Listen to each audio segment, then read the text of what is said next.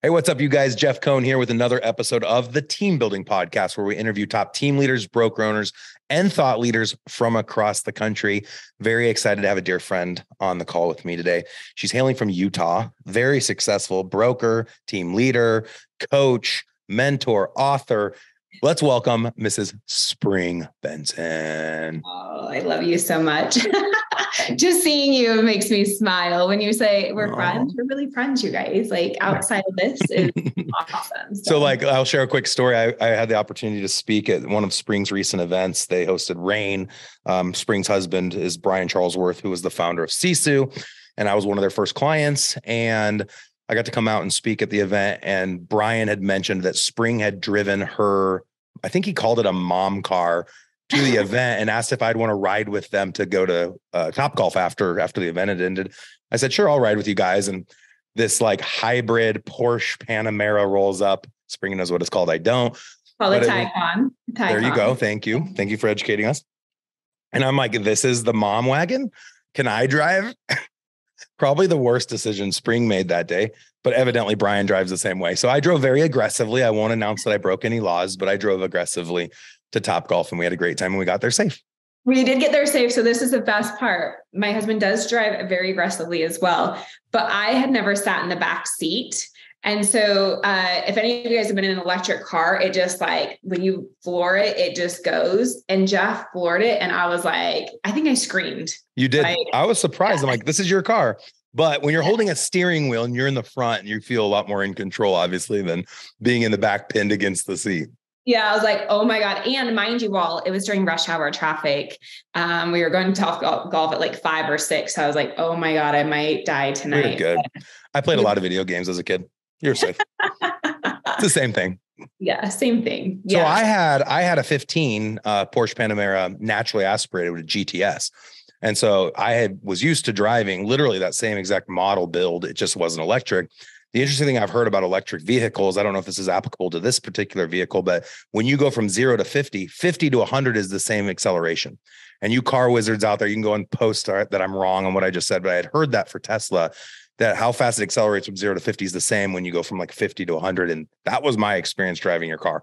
Like I was going yeah. 75 guys and I punched it at 75. And I won't say I got up any higher because then I would be breaking the law, but let's just say it went up a lot higher really quickly. And I looked over yeah. at Brian. He's like, Yeah, you're doing pretty good. Triple digits. I, I, I forgot about this, but yes, that did happen, and it PTSD. was so fun.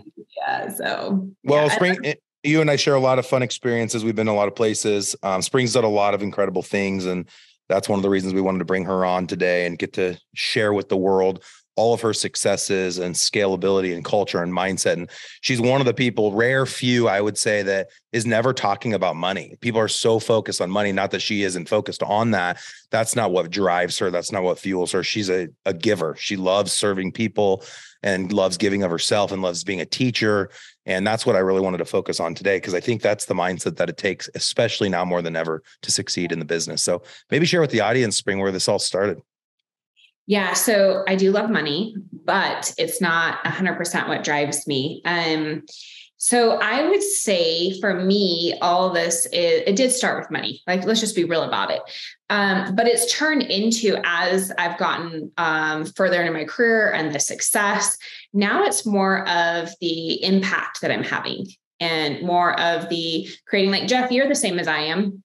I could go sell a house tomorrow. Like, there's no doubt you and I could go be the top agent in our marketplace if we wanted to. Mm-hmm. That like no longer fulfills me at this point. Um, and what fulfills me is helping other people grow, creating an environment or a company that other people can go and create their dreams and their ambitions and their goals in. And also, um, you mentioned even going into like the coaching space. A lot of what we're doing in the coaching space, I just launched a female coaching. It's called the Harmony Tribe. And um, we did an event called Ignite which was amazing, by the way. and um, but that was really about creating. I almost I almost dressed up as Mrs. Doubtfire and snuck in. You you know what? You probably could have just snuck in the back and um, would have been fine. But it was it was great. And so the fun part that I'm having with it all is really creating that environment. Um, I've had an interesting life, as you all know.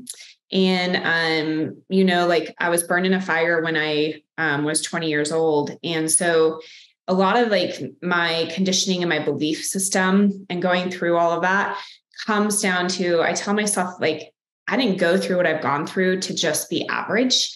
Like, I'm made for this. And so I'm made to do more than sell houses and own a real estate. Yeah. Let's let's stick to this for a second, Spring, because this yeah. speaks to me as well. I always have been wired. People will say, Did you ever think you'd be where you are today? We get that question a lot. And a lot of people that listen to this will probably get that question as well. Success is truly like a perception of what we believe success to be if we think yeah. we're successful. And when others perceive us to be successful, it's based on what they believe success is and what it represents. I had a hard time in the beginning being willing to serve others and be that person that has made it or quote unquote was successful. Because yeah. in my heart of hearts, I didn't believe I was. And in yeah. some areas of my life, I still don't believe I am. And in others, I do believe I am just based on my perception. Sometimes it's hard. And I watch you on social and for anyone that hasn't followed her, she'll share here in a little bit what her social handles are. She's all over the place and does an amazing job. But some people are scared to show up that way because they yeah. don't think they've made it yet. What do you feel like inside of you gave you the permission to allow yourself to become an influencer for others? Like, when is it the right time for those listening who want to be more exposed on a bigger stage on social or in person, but they still don't feel like they deserve it or that they have earned it? So I'm going to tell you at any level, because I don't think I have made it in any capacity, just so you know. Um, but I think at any level, you have imposter syndrome of like, whoa, I shouldn't be doing this. Like, why am I the person? But I'm going to tell you actually, this um, conversation with a mutual friend of ours, um, Frank Klesitz, actually changed my life, which is funny because he's like, he's boy genius, is what I'll call him. But um, um, he was telling me to do something and he wanted me to get up and he was actually comparing me to you. And he was telling me like why haven't you grown? Jeff's done all this stuff blah blah. And i'm like frank i, I just don't see myself that way. And he's like you need to go create this facebook page and you need to go do this. I mean he literally used you as that person right? Aww.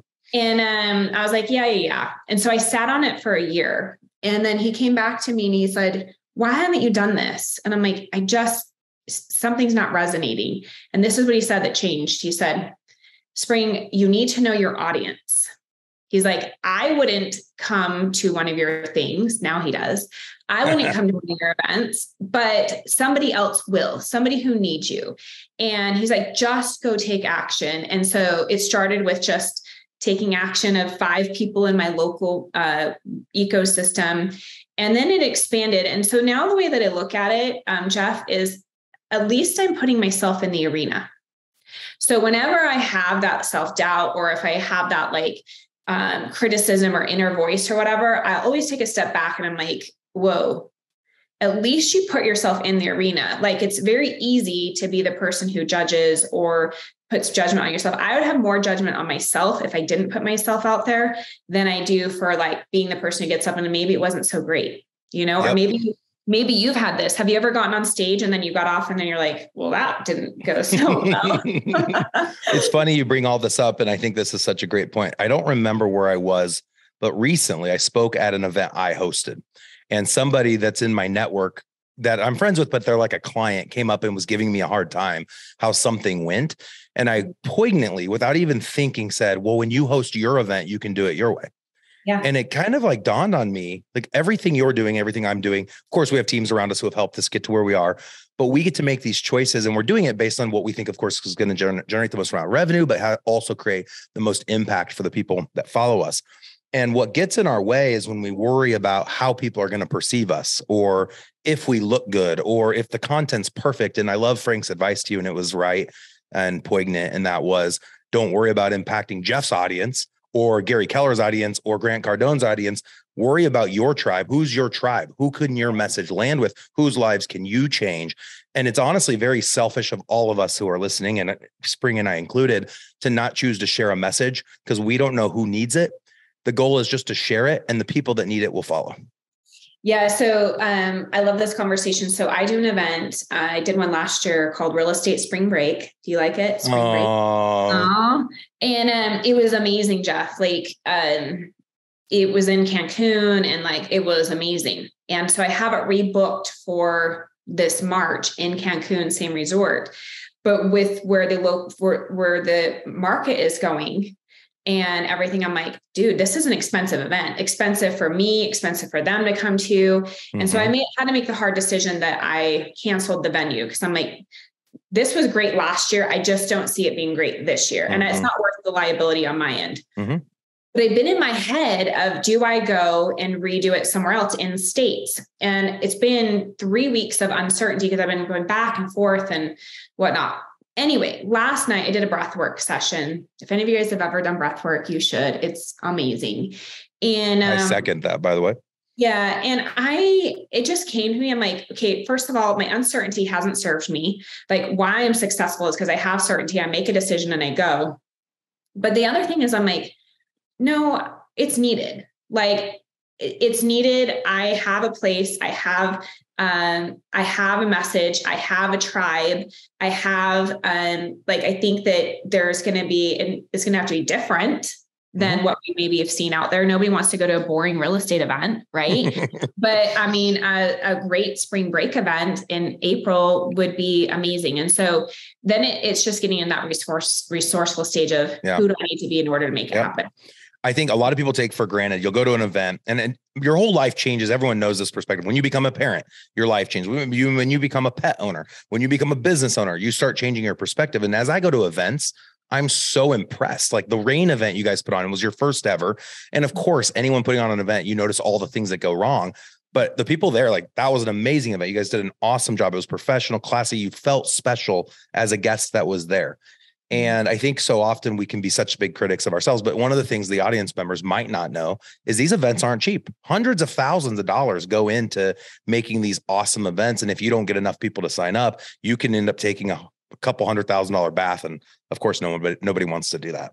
Well, what they also don't know is that um, you have to secure room blocks. So, in order to get the room in the hotel to have it, you have to guarantee a certain amount of food and beverage that your guests are going to um, you're going to yeah. you're going to you're going to pay for it mm-hmm. and you have to um, have the room block and so my concern of why i canceled was the rate on the room block in cancun was fantastic the rate off the room block was not but mm. if somebody mm. cancels on your room block like so jeff you come you cancel i still have to pay for your room unless i fill it mm-hmm. right so I was like, dude, I don't want to be liable. Like, come March. Because your point is the extras might not be there because the cost is so much more to be an extra.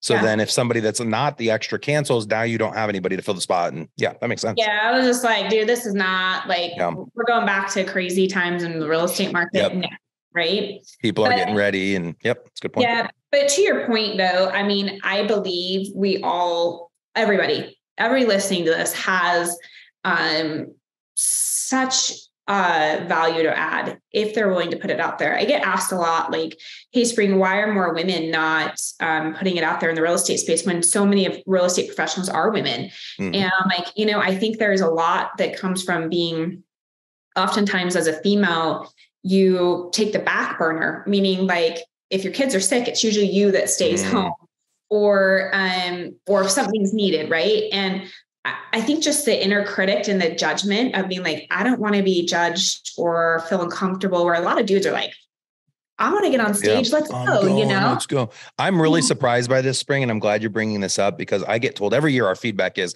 more minorities for speakers and more females for speakers. And every year I go out to my entire network of females and minorities and I say, "Hey, do you want to speak and or do you know anyone that would want to come and speak at our event?" And we really do struggle. And it, I wish I wish more women leaders, which there's tons of incredible women in the space and of course there are some that have stood up, but I think they are more intimidated and I'm I tip my hat to you because you have stood up to be a leader and serve others and you've done a phenomenal job at it and keep going. And hopefully that does inspire this next, you know, next generation of people to stand up and do the same just take action. Nobody who is doing um nobody's judging you. Like I think that's the biggest thing. If they if they're judging you, they're not to your level. Do you know what I mean? Like nobody at your level is judging you for putting yourself out there. Like I'll come to an event. It I am like just super inspired and proud that, somebody put it on. Or if you got on stage, hell yep. yeah, dude, I'm super proud that you got up on stage, right? Yep. So I just say put it out there. The world needs to hear what you have to say. I love it. I'm gonna. I want to share one thing. It's been on my heart the last ten minutes. I haven't said it, so I'm going to say it because I feel like I need to. And that is, um, I was with my three kids who today are 17, 15, 13, and it's girl, girl, boy. and we were talking about dating. And all three, of course, that they're at the age now where like either they're dating or they're very interested in someone that they want to date. And my girls, we were at dinner, it's about a week and a half ago, and they were expressing their concern that these guys they have crushes on don't like them. Very normal concern, right? All of us have that. Even as an adult, I just turned 41 last week. I want people to like me. Words of affirmation is my love language. I want people to like me and think I'm great.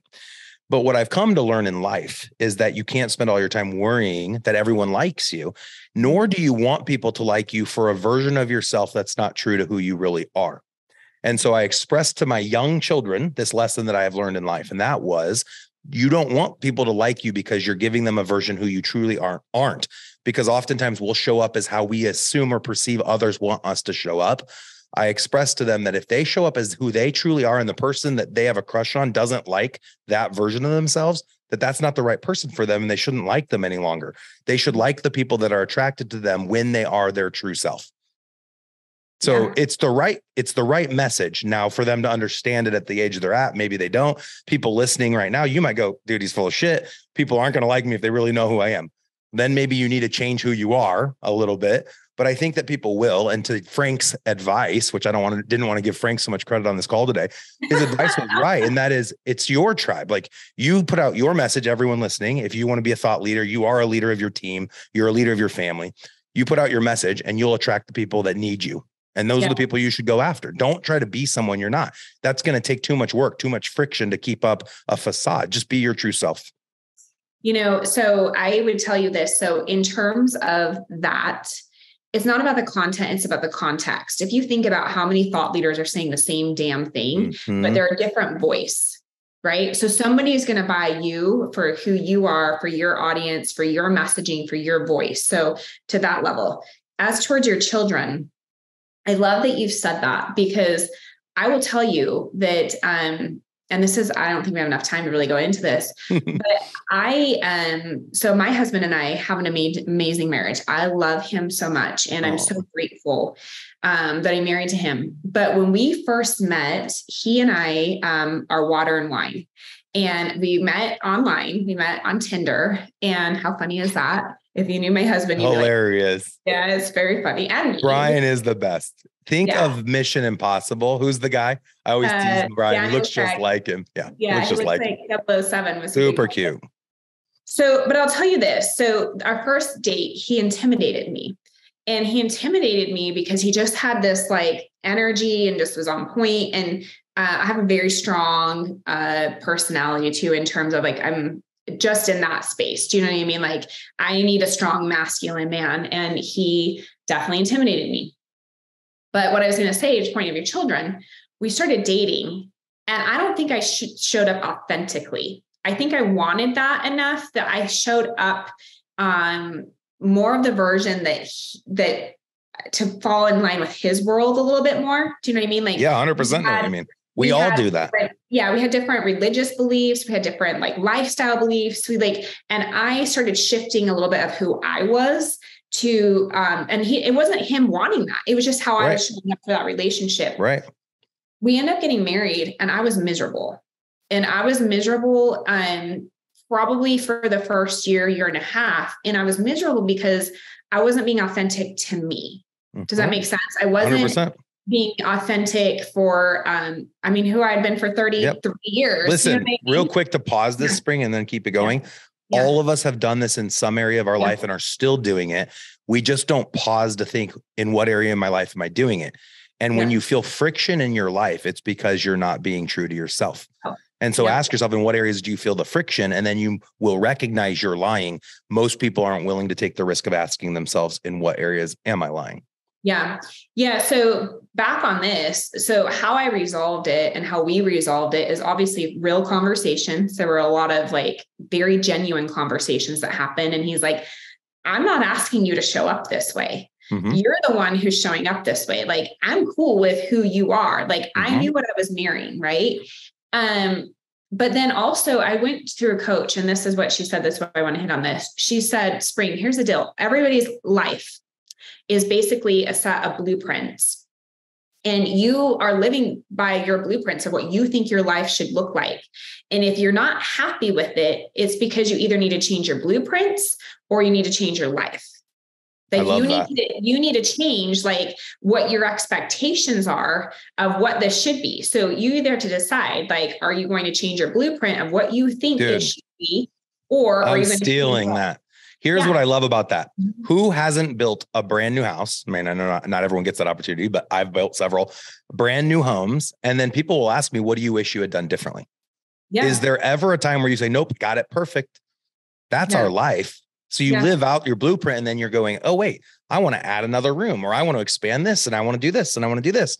And that's okay. So I think the answer is probably a little of both. Yeah. So for me, I had to, well, for me, I was like, okay, well, I'm not willing to get a divorce. I'm also not willing to be miserable. So I need to change the blueprint around what I think and what my expectations are. And um, and so it took some coaching and me understanding now how do I go change that blueprint? Because we all have the same 60,000 thoughts a day, and most of the time mm-hmm. negative right? Uh, believe it or not. And so that was really the start of my personal growth journey of like really understanding um, from that pain of like, how do I go create this life that I want? Because I have an amazing husband, then here I am not happy, hmm. you know? And Isn't that um, interesting? Wow. Mm-hmm. And that's so yeah. awesome. You're willing to share that and be authentic because so many people want to paint a picture of how perfect their life is, and no one's life is perfect. I get very close and granular with a lot of people, as do you. And I know the truth. And everyone listening, if you don't know this, everyone you see on Facebook and you see everything is perfect, their goal is to show an expression of what their blueprint is, but not yeah. what their life truly is. Those pictures are their blueprint. So when they capture their blueprint, they want to put it on social, but they don't live the blueprint every moment of every day. But who's going to go show the truth? So, like two years ago, I posted a picture of me over Thanksgiving weekend falling on my hot tub deck and I'm wearing a robe. And I it looks like it looks like a Looney Tune video and I had like 7,000 views. Everyone loved seeing me fall and get yeah. hurt and have failure and that because that's real and it feels good to see real. So thank you for coming on and being real. Also, yeah. just to invite anyone that doesn't know um, Elite Real Estate Systems, who provides this podcast, makes our coaching product. Uh, get offers a discounted rate through the end of this year. For more information about that, go to growwithers.com. Um, everyone that's part of our coaching through the end of this year is actually going to be able to be grandfathered in at our current pricing model. Next year, we're going to be increasing our pricing by 100%. Um, our our tribe is over 100 plus people, and our costs obviously are going up with the inflation and everything else going on. So we're going to be increasing our pricing by pretty much doubling the cost from a thousand to two thousand dollars. So if you want to take advantage right now, we're offering tons of different discounts. Go to growwithers.com. You can set up a demo call and learn more about what that group coaching product looks like. Spring. I before we, I'm going to give that a plug really fast. So you guys like so uh, my team right now has we'll do six 650 transactions. We'll see where we end up. Um, I will tell you when I met Jeff, I was doing maybe 150 transactions. And I went to your office. You do a shadow day. I don't remember what it's called. What is it mm-hmm. called? Now we're uh, calling them team building workshops. Team building workshop. Yep. And um, and that right there, just that experience of getting in behind the scenes, I was like, this isn't that difficult. And it wasn't that it's it pretty was, simple. It's pretty simple. And yeah. I just had overcomplicated it in my mind. Right. And then seeing that you could do that, I was like, hmm, I think I can do that. And if Jeff Cohn, if no, Jeff Cohn can no, do this. No, I actually, but I was, it wasn't that. I was just saying, like, I you know. show, you actually show behind the scenes of like yeah. what it takes. Right. And then it's funny, I came home from that and I wanted your dashboards.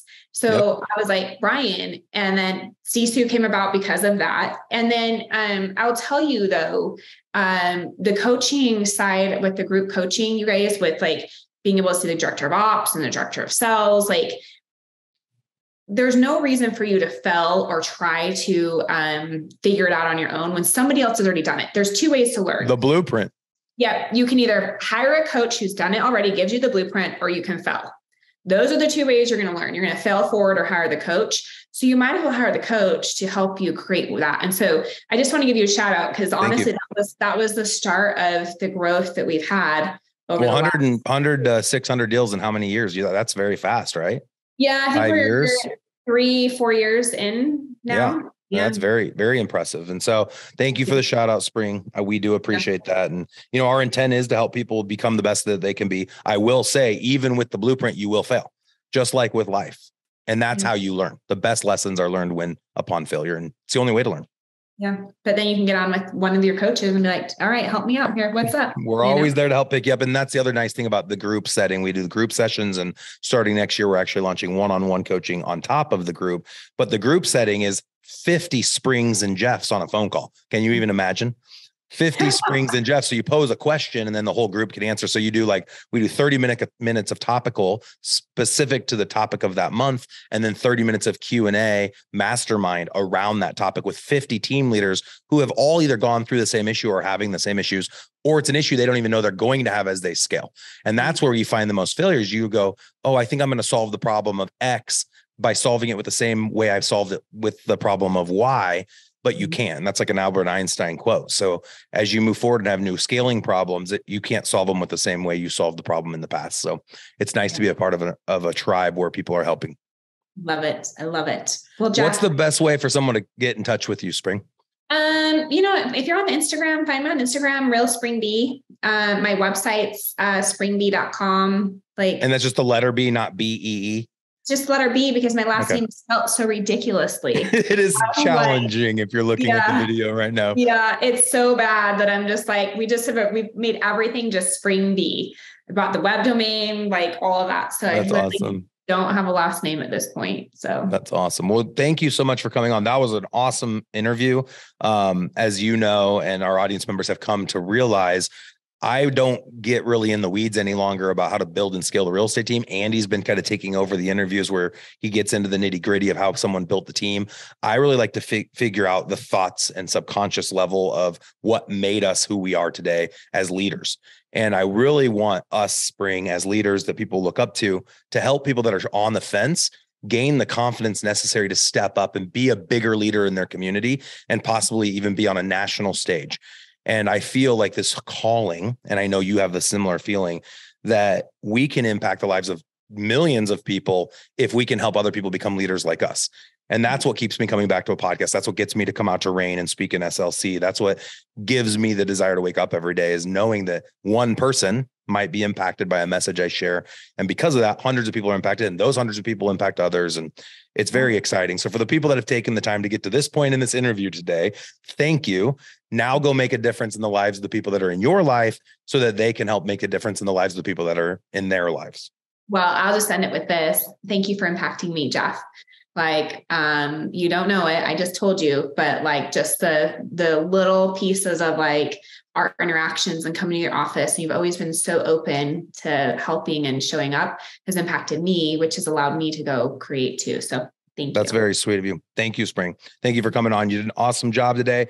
You guys, for more amazing content, please go out to growwithers.com and stay tuned for our next team building podcast.